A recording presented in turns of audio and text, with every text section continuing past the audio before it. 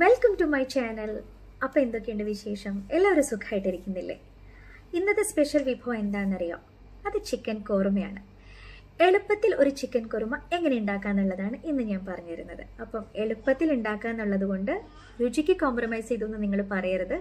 ഒരു റെസ്റ്റോറന്റിലൊക്കെ പോകുമ്പം കഴിക്കുന്ന അതേ കുറുമയുടെ ഒരു ടേസ്റ്റ് ഉണ്ട്. നിങ്ങൾ എല്ലാവരും ഒന്ന് പരീക്ഷിച്ച് നോക്കണം. അപ്പോൾ ഇതിന് വേണ്ട ചേരുവകൾ എന്താണെന്നും ഇതെങ്ങനെ ചെയ്യാന്നുള്ളതും നമുക്ക് നോക്കാം.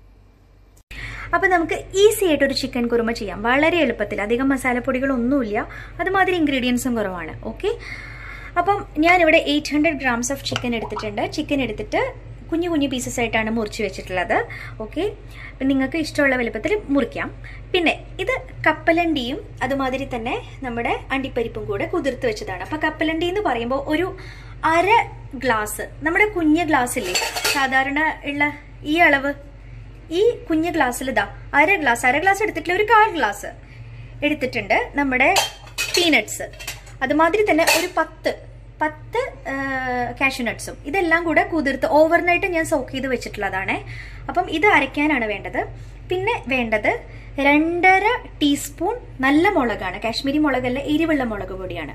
അപ്പം രണ്ടര ടീസ്പൂൺ മുളക് പൊടി മൂന്നര ടീസ്പൂൺ മീറ്റ് മസാല എളുപ്പമല്ലേ ഓർത്ത് വെക്കാനായിട്ട്. അപ്പം ഏതെങ്കിലും ഇനം മീറ്റ് മസാല നിങ്ങൾക്ക് ചേർക്കാം. ചിക്കൻ മസാല ചേർക്കണമെങ്കിൽ ചിക്കൻ മസാല ചേർക്കാം. എന്റെ കയ്യിൽ മീറ്റ് മസാല ഉണ്ടായിരുന്നുള്ളൂ. അപ്പം ഞാൻ മൂന്നര ടീസ്പൂൺ മീറ്റ് മസാലയും രണ്ടര ടീസ്പൂൺ മുളക് പൊടിയും. പിന്നെ മുക്കാൽ ടീസ്പൂൺ മഞ്ഞൾപ്പൊടി. പിന്നെ ഇതെന്താണെന്ന് വെച്ചാൽ രണ്ട് ഇടത്തരം വലിപ്പമുള്ള സവാള എന്താ പറയുക സ്ലൈസ് ചെയ്ത് അരിഞ്ഞിട്ട് അതും പിന്നെ എട്ട് വെളുത്തുള്ളി എട്ട് അല്ലി വെളുത്തുള്ളി പിന്നെ അതുമാതിരി തന്നെ ഒന്നര ഇഞ്ച് വലുപ്പത്തിലുള്ള ഇഞ്ചിയും കൂടെ അരിഞ്ഞിട്ട് ഇതൊക്കെ കൂടി നന്നായിട്ട് ഗോൾഡൻ ബ്രൗൺ കളർ ആവുന്നത് വരെ വഴറ്റി വെച്ചേക്കാണ്. ഇത് ഇത് ഇതും പിന്നെ അതുമാതിരി തന്നെ നമ്മുടെ കുതിർത്ത് വെച്ചിരിക്കുന്ന സംഭവങ്ങളും കൂടെ അരച്ചെടുക്കാനുള്ളതാണ്. അതിന്റെ ഒപ്പം തന്നെ ഒരു അര ടീസ്പൂൺ പെരിഞ്ചീരകം ഒരു നാല് ഗ്രാമ്പു പിന്നെ ഒരു മൂന്ന് ഏലക്കായ. ഈ അരയ്ക്കുന്നതിൽ ഇതും കൂടി ചേർക്കാം. പിന്നെ നമ്മുടെ ബേ ലീവ്സ് ഉണ്ട്. ഇത്രയാണ് നമുക്ക് വേണ്ടത്. പിന്നെ വെള്ളം ആവശ്യത്തിന് വെള്ളം പിന്നെ അതുമാതിരി തന്നെ ഉപ്പ്. അപ്പോൾ ഇത് എങ്ങനെയാണ് ചെയ്യണതെന്നുള്ളത് നോക്കാം. അപ്പോൾ ആദ്യം നമുക്ക് ഈ ഈ കൂട്ടങ്ങളും കൂടെ ഒന്ന് അരച്ചെടുത്തിട്ട് നമുക്ക് ബാക്കി തുടങ്ങാം. കേട്ടോ? അപ്പോൾ കണ്ടോ ഞാൻ ദേ ഇത് നന്നായിട്ട് അരച്ചു കൊണ്ടുവന്നിട്ടുണ്ട്. നല്ല മഷി പോലെ അറിയണം അപ്പം ഇനി നമുക്കിത് സ്റ്റാർട്ട് ചെയ്യാം. അപ്പം ഞാനിപ്പോൾ ഇവിടെ കടായി അടുപ്പത്ത് വെച്ചിട്ടുണ്ട്. ഇനി നമുക്ക് ഓയിൽ ഒഴിക്കാം. അപ്പം ഞാൻ ഒരു നാല് ടേബിൾ സ്പൂൺ ഓയിൽ ഒഴിച്ചു ഓക്കെ? കാര്യം ചിക്കൻ ഉണ്ടല്ലോ പിന്നെ നല്ല ഗ്രേവി ഉണ്ട് അപ്പം അത്രയും വേണം. ഇത് ഞാൻ ചെയ്യുന്നത് സൺഫ്ലവർ ഓയിലിലാണ് ഞാൻ വെളിച്ചെണ്ണയിലല്ല ചെയ്യുന്നത്. ഇനി നമുക്ക് ഫസ്റ്റ് ചെയ്യേണ്ട കാര്യം എന്ന് പറഞ്ഞാൽ ഈ ഇല നമ്മുടെ ബേ ലീഫ് ഇടുക ഓക്കെ? ഇതിപ്പോൾ ഞാൻ ഈ കടായിൽ തന്നെയാണ് ഓൾറെഡി ഉള്ളി വറുത്തെടുത്തത്. ഉള്ളിയും നമ്മുടെ ജിഞ്ചർ ഗാർലിക്കും കൂടെ വറുത്തെടുത്തിട്ടുള്ള സെയിം കടായി തന്നെയാണ്. ഇനി അതിനകത്തോട്ട് തീ കുറച്ച് വെക്കുക. മസാലകൾ ചേർക്കാൻ പോവാണ്. ഈ എടുത്തു വെച്ചിരിക്കുന്ന മുളക് പൊടി അതുമാതിരി തന്നെ മീറ്റ് മസാല പിന്നെ മഞ്ഞൾപ്പൊടി. ഇത് ചേർത്തിട്ട് നന്നായിട്ട് അങ്ങോട്ട് മൂപ്പിക്കുക. ആ മഞ്ഞ ഒരു പച്ചച്ചുവ മാറുന്നത് വരെ ഇളക്കുക.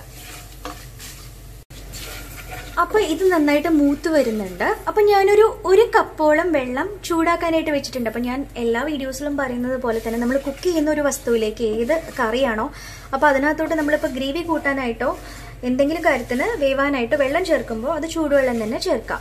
അപ്പം ഞാൻ അവിടെ വെള്ളം ചൂടാക്കാനായിട്ട് വെച്ചിട്ടുണ്ട്. അപ്പൊ അതൊരു ഇച്ചിരി വെള്ളം. ഇച്ചിരി വെള്ളം ചേർത്തിട്ടുണ്ട്. അപ്പൊ ഞാൻ തീയിട്ടിട്ടുള്ളത് വളരെ മിനിമത്തിലാണ് കേട്ടോ. ഇനി ഇതിലോട്ട് നമ്മൾ അരച്ചു വെച്ചിരിക്കുന്ന ഈ പേസ്റ്റ് ഇത് ചേർക്കാം. എന്റെ കയ്യിൽ പോപ്പി സീഡ്സ് ഇല്ല. ഞാനിവിടെ അരിച്ചു പറക്കിയിട്ട് ലുലുവിലൊന്നും പോപ്പി സീഡ്സ് എനിക്ക് കിട്ടിയിട്ടില്ല. അബുദാബിയിൽ നിങ്ങൾക്ക് കിട്ടുന്നുണ്ടെങ്കിൽ അതും കൂടെ ചേർത്താൽ നല്ല റിച്ച് ആയിട്ടുള്ള ഗ്രേവി നിങ്ങൾക്ക് കിട്ടും. ഇനി ഇത് നന്നായിട്ട് മിക്സ് ചെയ്യാം. അപ്പം നമുക്ക് മിക്സ് ചെയ്തിട്ട് ഞാൻ കാണിച്ചു തരാം അപ്പോൾ ദേ ഇത് നന്നായിട്ട് മിക്സ് ചെയ്തിട്ടുണ്ട്. ഓക്കെ അപ്പം ഞാൻ എപ്പോഴും പറയുന്നത് പോലെ തന്നെ എരിവ് നിങ്ങളുടെ ഇഷ്ടത്തിന് അഡ്ജസ്റ്റ് ചെയ്യാം. ഇതിപ്പോൾ അത്യാവശ്യം എരിവുണ്ട്. ഇനിയിപ്പം എരിവ് ഇതിലും കൂടുതൽ വേണമെന്നുണ്ടെങ്കിൽ നിങ്ങൾ ചേർക്കാം. ഓക്കെ അപ്പോൾ ഇതിപ്പോൾ ഒരു കണ്ടോ? ഭയങ്കര തിക്ക് ഗ്രേവിയാണ് അപ്പോൾ ഒരു ഇച്ചിരിയും കൂടെ വെള്ളം. വെള്ളം അതുമാതിരി തന്നെ നിങ്ങൾക്ക് ഗ്രേവി എത്ര വേണോ അത്ര അതിനനുസരിച്ചിട്ട് അഡ്ജസ്റ്റ് ചെയ്തോളാം ഇനി ഇതിന്റെ ഉപ്പ് നോക്കാം. ഇതിലിപ്പോൾ ഉപ്പ് കുറവാണ്. കാര്യം ഉള്ളി വഴറ്റി വഴറ്റിയ സമയത്ത് മാത്രമേ ഞാൻ ഉപ്പ് ഇട്ടിട്ടുള്ളൂ അപ്പോൾ ഇതിലേക്ക് ആവശ്യമുള്ള ഉപ്പ് ചേർക്കാം.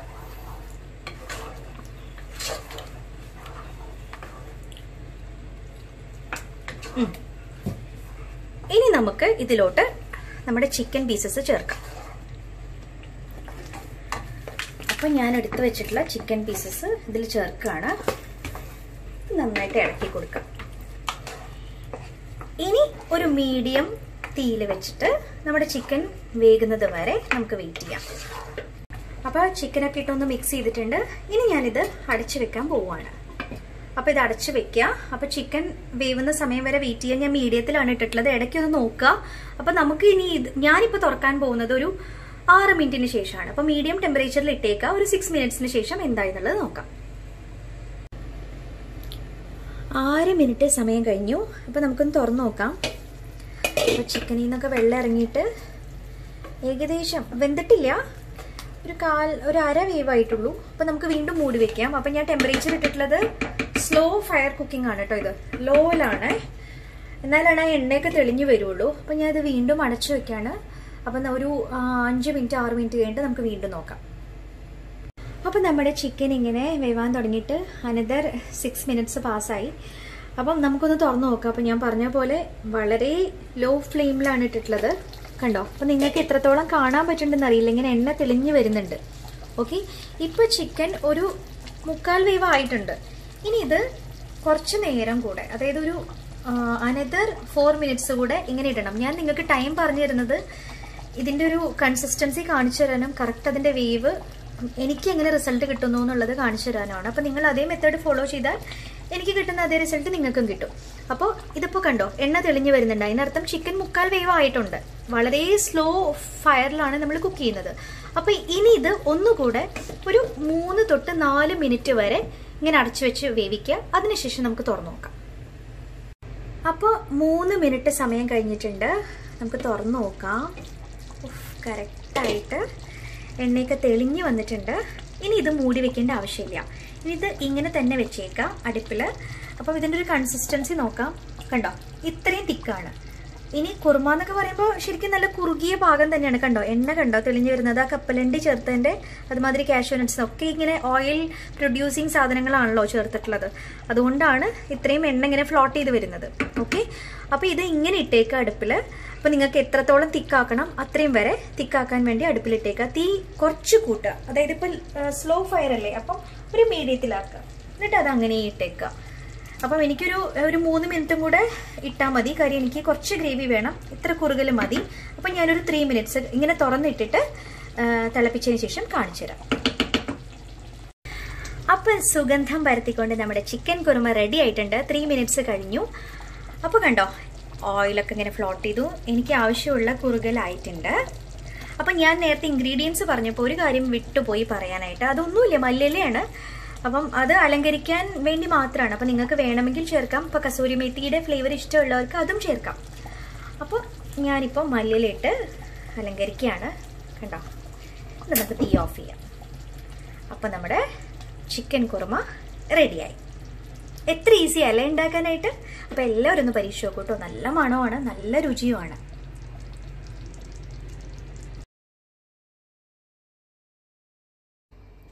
അപ്പോൾ എല്ലാവരും കണ്ടുവല്ലോ എളുപ്പത്തിൽ ഒരു ചിക്കൻ കുറുമ എങ്ങനെ ഉണ്ടാക്കാന്നുള്ളത്. വളരെ ഈസിയാണ് എന്നാൽ വളരെ ടേസ്റ്റിയുമാണ് മുപ്പത് മിനിറ്റേ വരുള്ളൂ ടോട്ടൽ പ്രിപ്പറേഷൻ ടൈം എന്ന് പറയുന്നത് ഓക്കെ അപ്പം ഒരു തേർട്ടി മിനിറ്റ്സിലൊരു വളരെ രുചികരമായിട്ട് ഒരു റെസ്റ്റോറന്റ് സ്റ്റൈലിലുള്ള ഒരു ചിക്കൻ കുറുമ എങ്ങനെ ഉണ്ടാക്കാന്നുള്ളതാണ് ഞാൻ ഇപ്പോൾ ഈ എപ്പിസോഡിൽ കാണിച്ചു തന്നിട്ടുള്ളത്. അപ്പോൾ എല്ലാവരും ഒന്ന് ട്രൈ ചെയ്ത് നോക്കണം. എല്ലാവർക്കും ഇഷ്ടപ്പെട്ടെങ്കിൽ ഒന്ന് കമന്റ് ബോക്സിൽ മെൻഷൻ ചെയ്യണം.